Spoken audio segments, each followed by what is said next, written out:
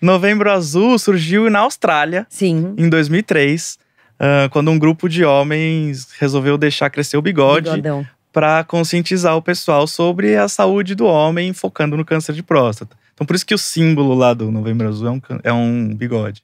Tá. Uh, a importância do tema é um conjunto de três fatores, basicamente. Primeiro, que é uma doença extremamente prevalente, ou seja, tem muito na população. Igual você falou ali na abertura, uh, acomete homens no mundo inteiro. Sim. Uh, são 65 mil casos de câncer de próstata no Brasil por ano, mais ou menos. 15 mil mortes.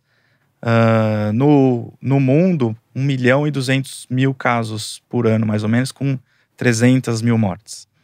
Ou seja, então, é uma, é uma doença mundial, é, né? E que acomete muita gente.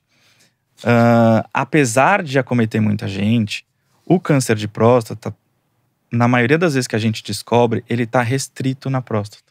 Ele está nas fases mais iniciais da doença. Isso acontece em mais ou menos 80% dos casos. Que a gente descobre o câncer, ele está só na próstata. E isso dá pra gente uma chance de cura de 90%. Então, apesar de ter muito, se eu encontrar cedo, eu vou ter uma chance de cura muito grande. E como que eu faço para encontrar? Tem que fazer os exames. De rotina. Por quê? Porque o câncer de próstata, a gente acabou de falar, a maioria das vezes não dá sintoma. Então você vai suspeitar que tem alguma coisa no exame de rotina, que é o PSA e o temido toque retal. é isso. Que inclusive eu já recebi um médico aqui, a gente falou mais de testosterona, o Dr. Vitor Santana. E aí ele, ele entrou um pouco, né? A gente meio que chacoalhou a galera para falar disso, para começar a quebrar esse tabu. É, e aí, eu preciso te perguntar uma coisa: é necessário até hoje o exame de toque, não necessariamente. Só o, o PSA já indica. Vamos fazer um suspense e deixar o pessoal tan, tan, tan, torcer contra a resposta que eu vou dar. precisa, precisa, precisa, fazer o toque retal. Uh, são dois exames que a gente precisa fazer, o PSA e o toque. O PSA, só pra galera entender mais ou menos, né? O PSA é um exame de sangue. É uma proteína que a próstata produz normalmente em todos os homens. Uhum. Sempre que a próstata sofrer qualquer tipo de agressão, ela vai aumentar a produção do PSA. Então, um aumento benigno, uma infecção, uma inflamação, câncer de próstata, tudo que agredir a próstata vai fazer eu subir o PSA. Então, não é para desesperar, meu PSA subiu, tô com câncer. Não. A maioria das vezes que o PSA sobe não é câncer, é um aumento benigno da próstata. Mas precisa fazer porque ele vai dar pra gente uma noção de que alguma coisa tá errada ali. E por que que precisa fazer o toque retal também? Precisa fazer porque alguns dos cânceres de próstata não aumentam o PSA. E aí a gente tem a chance de suspeitar que alguma coisa está errada no, no toque retal. 10% dos tumores de próstata podem não aumentar o PSA. E justamente os mais agressivos são os que não aumentam o PSA. Ou seja, tem que fazer, tem que fazer e acabou. E é tão rápido, né, doutor? É muito rápido. É, a gente não tá ali de sacanagem, não tá ninguém se entretendo ali. É, é um exame rápido, 10, 15 segundos, é indolor.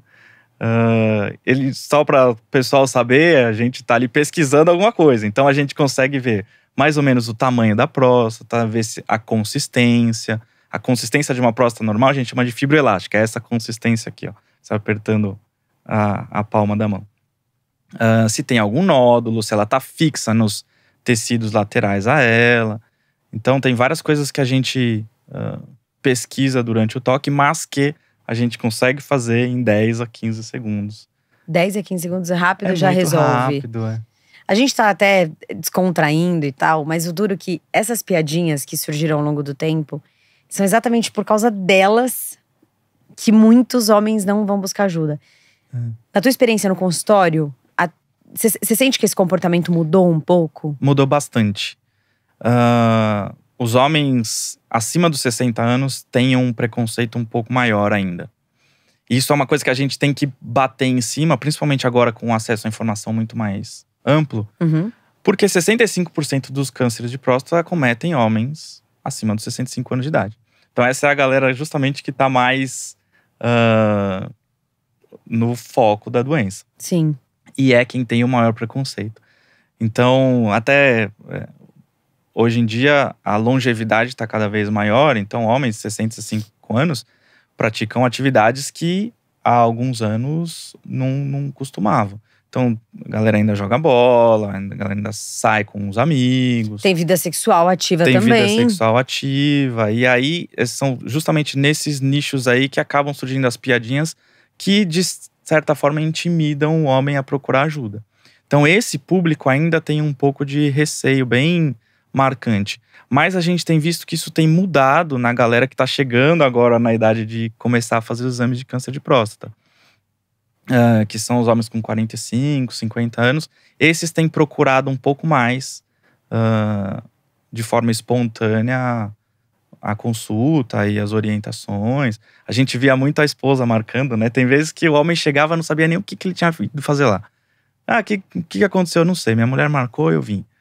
Então, muito bom. Deita ali, vai ganhar um toque retorno. Brincadeira. Tem que ter um...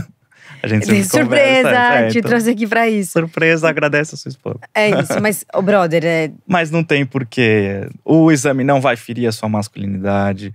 O exame não vai mudar o seu ah, status de chefe da família. Não muda nada. não vai mudar também a sua orientação sexual, de maneira alguma, né, doutor? Certamente não. Não muda nada. Ah, pelo contrário, ainda te traz outros benefícios de você ter por perto as pessoas que você ama por mais tempo.